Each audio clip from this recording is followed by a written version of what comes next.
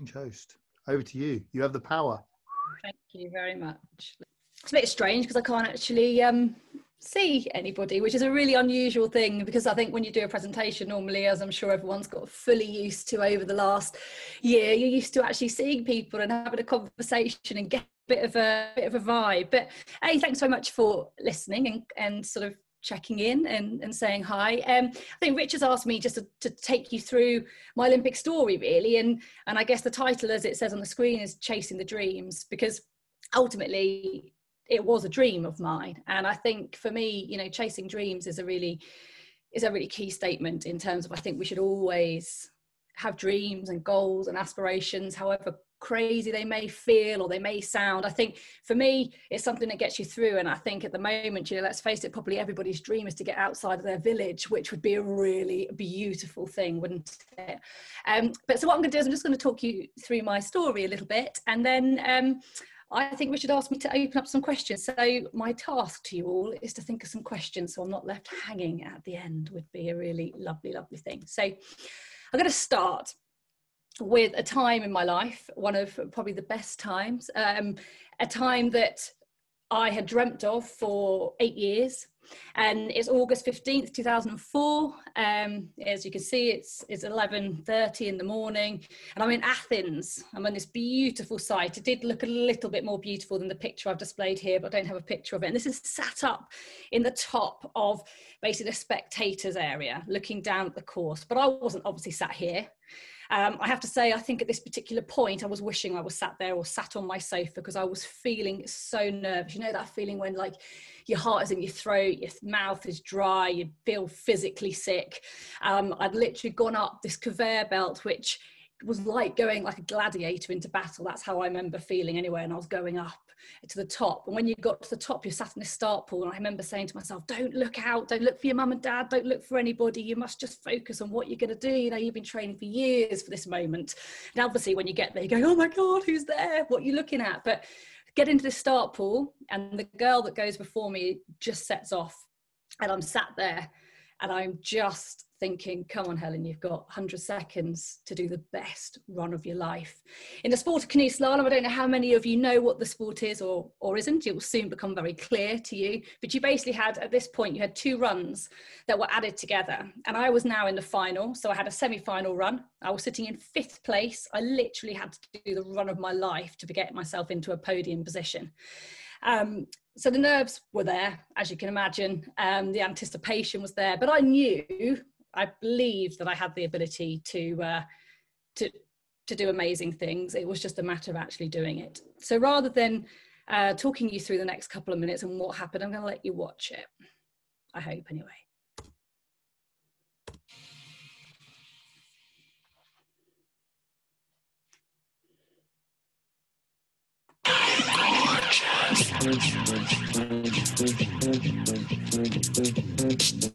As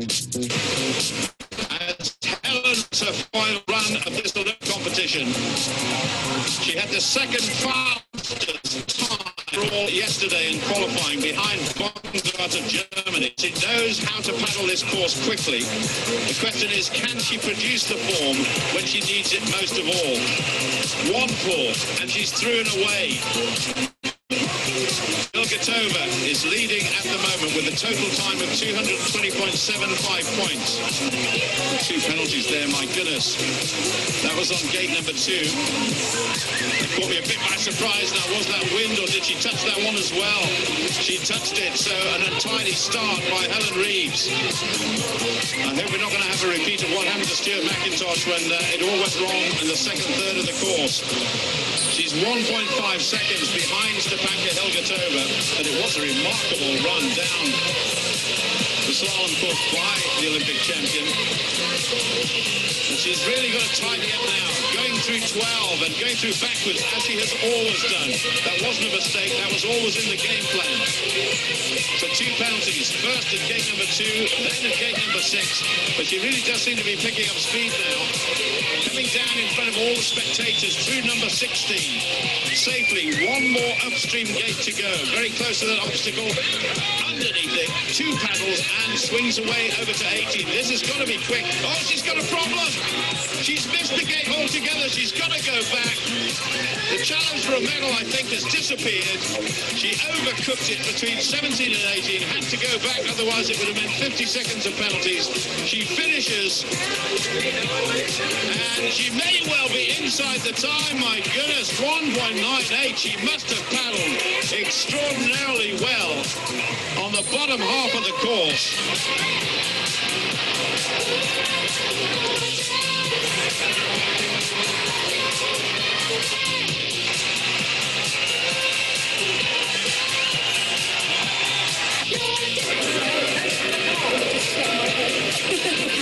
What agonising way that was, Helen. Yeah, yeah, but uh, it was my own mistake, so I kind of to finish fourth is, you know, it's, it's good, but it's disappointing. Was, it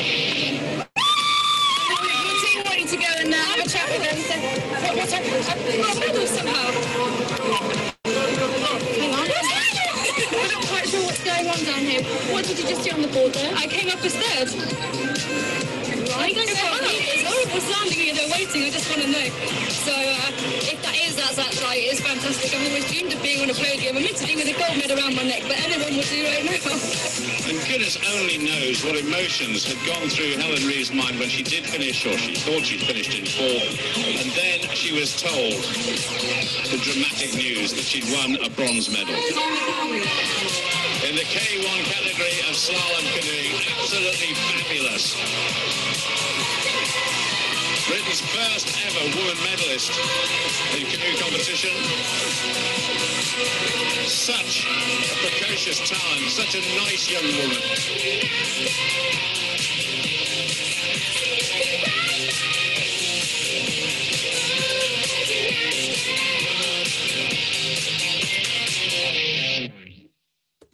Oh, so there you go. That was me. And this is my medal, if you can see me. I don't know what you can and can't see. It's most bizarre. But yeah, this medal um, was like a gold medal to me. It still is, I think. It was a big decider on when I decided to move on from the sport was, was I ever going to feel as good as I did at that moment? I mean, that was for me a dream come true. And as you heard in the middle of my interview with Suzi Perry, typically it probably could only happen to me that you find out to get a medal 10, 15 minutes after a race. But, you know, you, you stood there and and when i actually got up on that podium yes it was a bronze medal but genuinely that gold medal sorry that bronze medal felt like a gold medal to me that moment. I jumped around like a lunatic. I think the girl that got gold certainly looked like she got bronze compared to the way i reacted. But it's because when i created my dream i had absolutely no idea on what it was going to take to actually get to that point. And as i said my dream started eight years to to this point. Um, and it was one success when I stood on the top of the podium, uh, which is the picture, as you can probably see, the only podium picture, um, when I was uh, 15 years old at Junior World Championships, the same height, having stood on the top podium as the girl that got the bronze, because she was, I was 15, she was 18, she was also, probably is still a giant to me, to be quite honest. Um, but I remember getting up there, I was so nervous about going up to get this medal. And when I stood up there and I looked out and I looked at everybody else and I thought, God, you know, this is amazing this is what i this is what i wanted this is what i've thought about and and dreamt about forever i mean my mum reminded me uh, many years well what, probably once i got my olympic medal and i'd done one of these talks as a as a junior kayaker um, when I won my first ever trophy. And I remember it was huge. It felt huge anyway. You know those ones when you're like, it feels like it's um, it's ginormous. Now it doesn't feel quite as impressive, but you know I've still got that that trophy. And I took it to school to show and tell and it got stolen out of the teacher's cupboard. But apparently, I went home and I said to uh, said to my mum, "Don't worry, mum, I'm going to win lots more of those." So maybe I just knew that that was something that I really, really wanted to do. Maybe slightly arrogant, I don't know, but it was definitely a moment when I stood on the podium at the the Junior World Championships and did my slightly awkward wave with my arms, with my big braces and my terribly dyed hair, and um, stood there looking out, thinking, "This is what I want to do." And then about three weeks, two weeks later, it was Atlanta 1996, and I watched this this guy at the bottom corner, Oliver Fix. He was 23 years old. He was world champion, European champion. He just got crowned Olympic champion, and I thought that is what I am going to do. So I created this dream. Didn't really tell anybody about it. And off I went to uh, set about doing it. And Oliver uh, actually happened to be my coach um, at the Athens Olympics bizarrely. Um, he came in and started coaching for, for Great Britain, and I eventually nagged enough and put in enough requests that I finally got um, coached by him. I'm not sure how happy it was, but I think maybe Athens made up for it for him. But he said to me after my race in Athens, he said, the thing that made him the most proud was the fact that I never gave up. As if you can take yourself back to the video, um, you know, there were many mistakes. I mean, the commentator kept telling everybody that I wasn't going to get a medal because I had blown my chances because not only had I hit two gates. I had to go back for a gate. And, and anyone who knows the, the game of canoe slalom, I mean, we always finish a race going, well, if I hadn't touched that gate, and if I hadn't touched that gate, and if I hadn't made that mistake, oh, you know, I could be a champion. You know, that's part of it. Um, but the fact, fact was, you know, one thing he taught me that year, well, one of the many things, but one of the things he taught me that year was like, no run is ever perfect. It's like life, isn't it? Nothing well, things are rarely perfect. It's making the best out of what you've got. And we train for perfection. But actually, when it comes to it, it's those that get over the finish line as quickly as they can. It's not about being perfect. And that was quite a hard, um, quite a hard thing for me to learn. But in the weeks and months that followed that, I realized that it wasn't just about not giving up on that one day. It was about not giving up over many, many years. This is a picture of uh, me and my, my fellow Olympic canoeing mates, my teammates. Um, as you can see, I was the only girl. There was only there is was only ever one place for females, um, and now we have two. We get a canoe and a kayak. Uh, women will be going to Tokyo, and um, we fingers crossed I won't be the only female medalist in canoe slalom when we come out of that Olympic Games. Fingers crossed we will get another one. Although I always sit there slightly. Uh, slightly smug that I'm still the only one, but equally for, for all the sport of canoe slalom, clearly we want some more. But the quote that I put up here is one that um, is really important to me. So my mum used to send me a quote when I was out in Athens. Every day she'd send a, a, quote through. So quotes sort of sit quite quite close to my heart. But this is one: if you can imagine it, you can achieve it, and if you can dream it, you can become it. And as I said at the very beginning, dreams I believe are really really important. It's it's it's it's such an integral part of the way that we strive and we move forward is to always be looking at what we can do. And if you've got a goal or a dream or something you want to achieve it gives you something to work towards. It's very hard isn't it and i think this is where everybody's feeling right now in this world of covid. It's so hard to plan and we're all struggling with that because we don't know what we can plan for. And so when you have something that you want to achieve however big or small it is it just gives you that emphasis to move on and to keep trying and keep challenging yourself, whichever way that happens.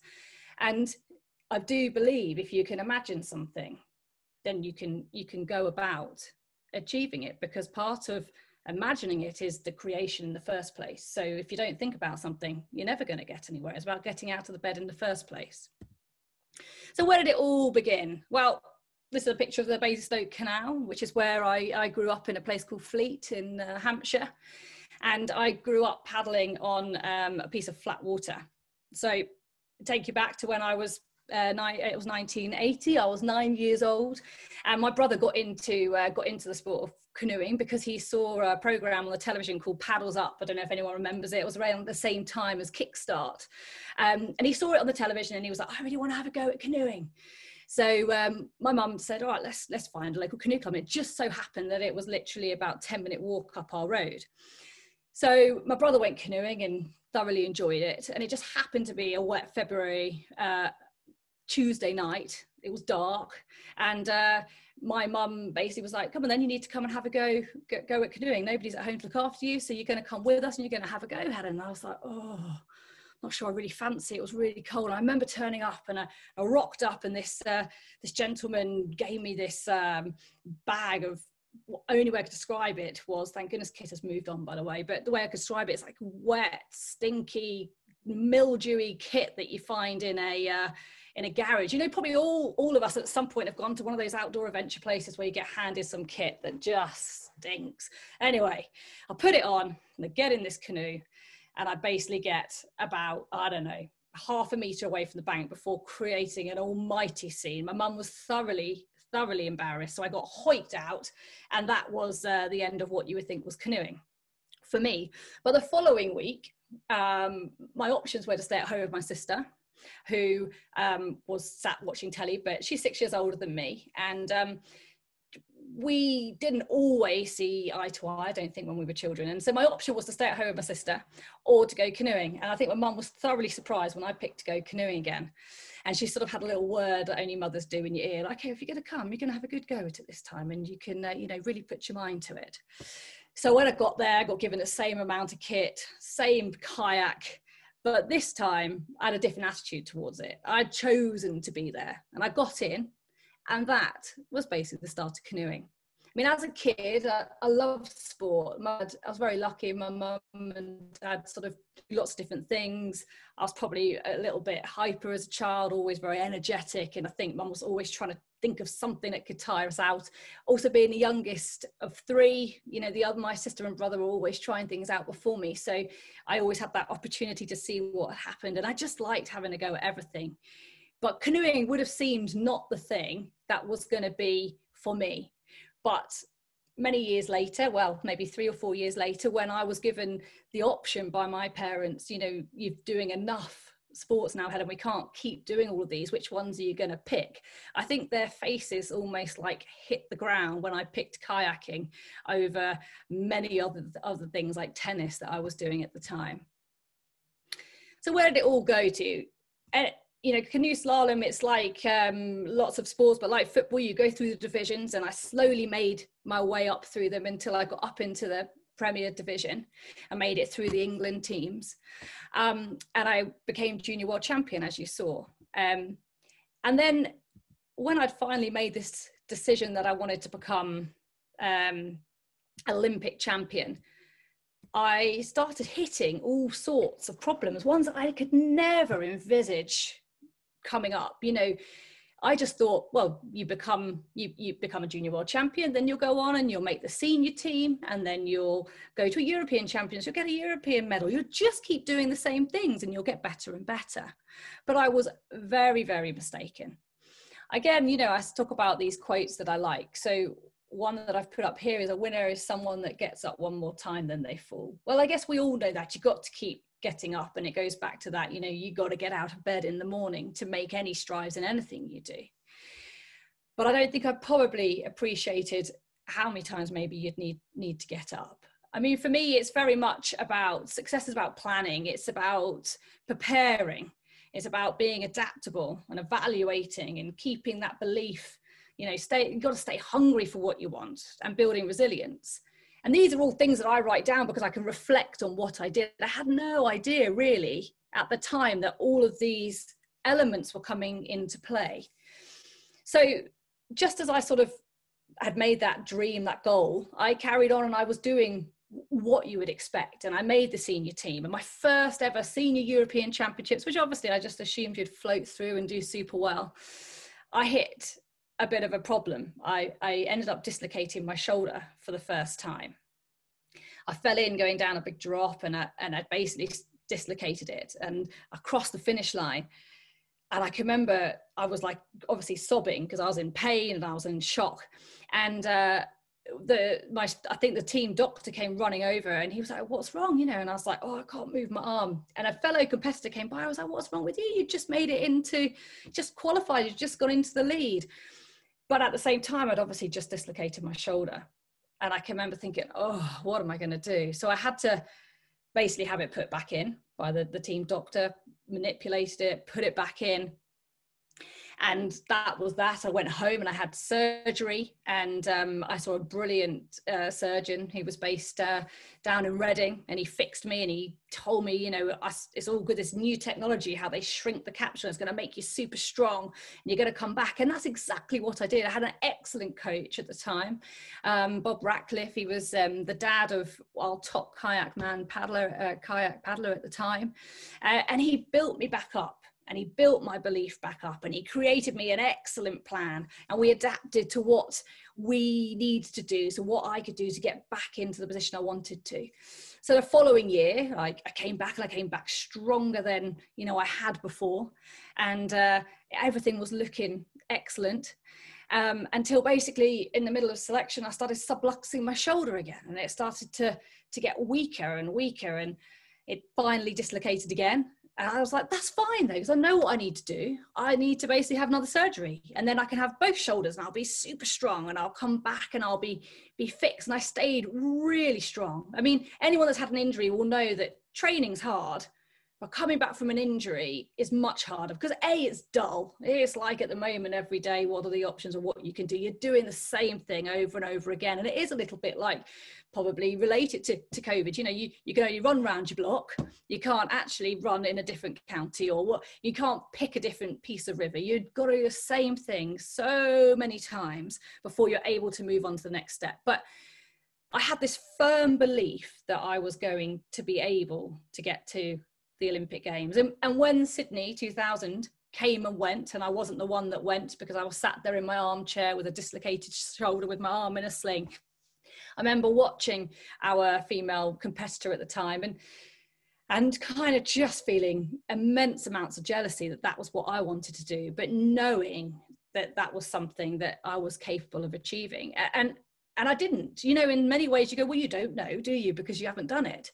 But I believed it was a belief of mine, and and that's what got me up and got me training and, and got me back to to fitness. And then in that Olympic year, Olympic qualification is one of the toughest things that people have to go through. I'm not sure whether everyone always understands that. You know, you see these competitors at the Olympic Games, and you go, wow, you know, they're the pinnacle of their sport. And what's the crushing thing, certainly in a sport like canoe slalom, you know, in a country where at a world championships you could have one nation that's in the you know their three top paddlers are in the top five. At olympic games only one of those people get to go. So one of the toughest things is getting to the olympic games. So for me in the midway of qualifying having had these two now beautiful strong shoulders had excellent training in the selection event which was the first part of a selection event one of my shoulders subluxed. And i was like oh no but it didn't dislocate and I didn't have to go and have surgery. It just needed managing. So we had to create a whole new plan, a new way of doing things. And I had to kind of work out, right, how can I maneuver my way around what's in front of me. So gym programs had to be changed. They had to fall to the side. So what can I do to be better rather than doing those gym sessions? I can maybe spend more time on the technical side of stuff. And I became an excellent technician of canoe slalom.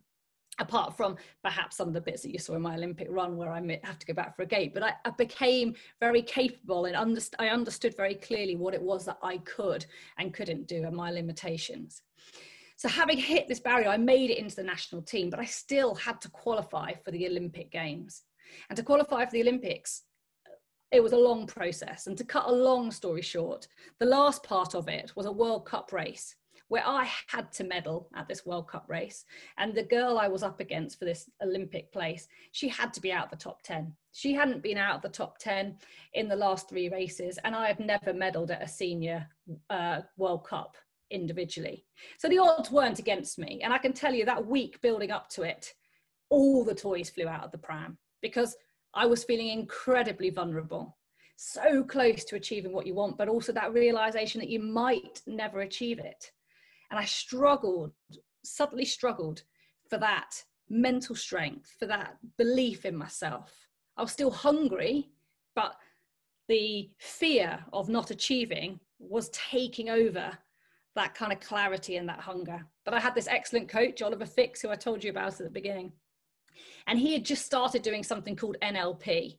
And he bought out this book and he sat me under a tree and we spent a week rewinding everything that I was fearful of and then rebuilding it up into a really positive state and bringing in all of those plans that I'd made making sure that my belief was there. So when I sat on the start line at the beginning of that competition, I knew I could do it. And cut a long story short, obviously I got the place, but I came out on the top of the podium with my first ever gold medal. at a, at a senior international, and the girl I was against didn't make the top 10. So there I was on my way to, to the Olympic Games. And uh, it basically taught me everything or, or, sort of said everything that I, I already knew. It's about these, these elements. You've got to stick to your plan. You've got to adapt. Well, I have a question. I've see, been seen that Isaac, who I don't know, but has asked me, how do you control your nerves at the Olympics? Well, it's a really interesting question, actually, Isaac, because you have lots and lots of training if you want it. We used to have sports psychologists, and um, I was a little bit anti it because I always felt that they were trying to trick me rather than actually help me, which was a bit ridiculous. So I used to spend my time tricking them. But ultimately, how do you control your nerves? You learn to do it over a period of time, and I think you there's some people that do it more naturally than others. Um, and I I think I was quite fortunate that I was always a really good than I then I trained or well certainly in the early years. And that was something that I was sort of renowned to do. But the real way is um is routine as well. You put so many routines in place. I had three three songs that I listened to before I left the changing rooms. I used to lie on the physio bed and I would listen to um, Neil Diamond Forever in Blue Jeans followed by Dolly Parton um, a nine till five, and then followed by the White Stripes, Seven Nation Army. And each one did a specific job because they would calm me down, build me up, and then give me that kind of fighting spirit. And you, you start creating your patterns. Um, but when I got to that start pool that I talked about um, in the beginning, it was very quickly you can get distracted was then drawing yourself back in to what you needed to do then. So controlling your nerves was looking at step by step. What was gate one going to look like? What was gate two going to look like? And that to me is the same when you lose your nerve with anything.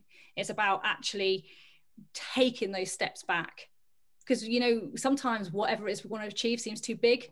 And if you break it down, if I look at it now, what would I do? I'd do some sort of adventure racing, I think. That's what gets me buzzing now, is that being out in the open if I'm totally honest, I wasn't the best at it. I found it very, very hard to switch off. So, you know, I was forever being told we need to do relaxation, forever being told I need to have a sleep during the day. And I found it incredibly hard. The things that I did um, to aid recovery was eat, you know, I ate very well. I always had a very good diet. I was very hydrated. Um, and they were the bits that I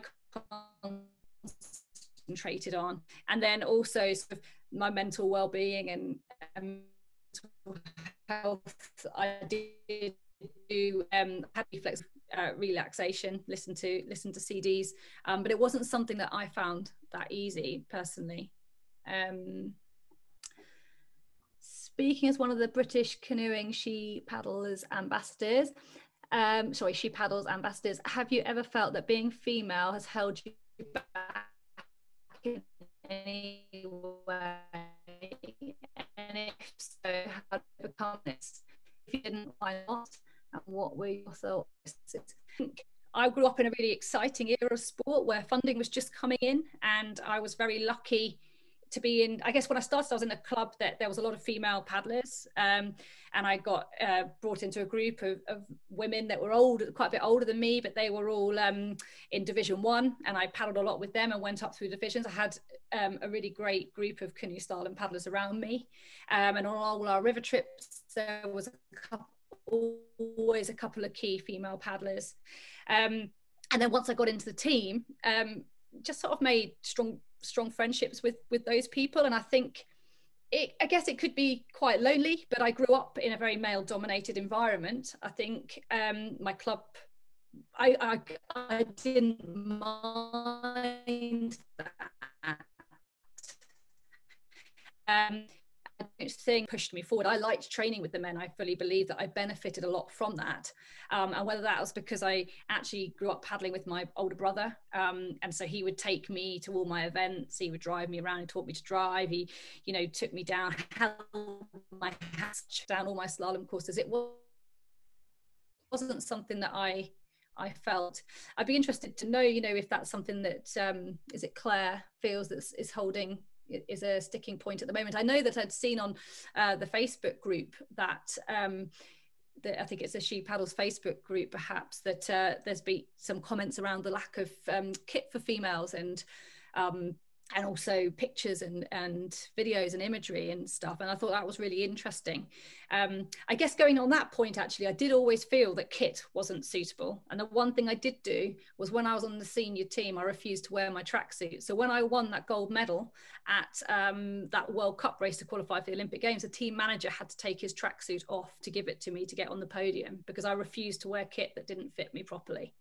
And then i managed to get a budget for the team to have travel kit because I refused to wear a tracksuit that just made me look awful. Because I fully believe that if you feel good in your clothes, gives you confidence, and that would be the same with canoeing kit. Um, what would the what would the opportunity be for you to make a return as age limiter? Thank you very much, Jackie. Well, yes, it is, I think, to Olympic standard. But last year I did compete as a veteran and I did get quite competitive and I did win my one race that I did against somebody that has sort of persuaded me to do it. I think, much to the disappointment of the uh, other guys in the race, I was the only female in that race actually. Um, and I managed to do my neck in from too much effort. So there is a limiting factor, yes, your body. Um, and I definitely don't bend as I to. So, uh, so yeah. Um, what is your favorite gym exercise? Do you know, I really, really don't like the gym, but the one thing I didn't mind doing was chin ups because it was the only thing that I was actually quite good at. And there was a fa- there was a time where I had to, I trained down in London in Teddington, and it was with the um, England rugby players. And as you can imagine, so I'm five foot four, um, and I was with all these England rugby players who let, were actually quite scary in a sense of how strong they were and the only exercise i could smash them in the gym was was chin ups so that would definitely be my favorite um, so, did your trainers and mentors stay with you throughout your competitive career, or did you need to adjust to different people and different approaches?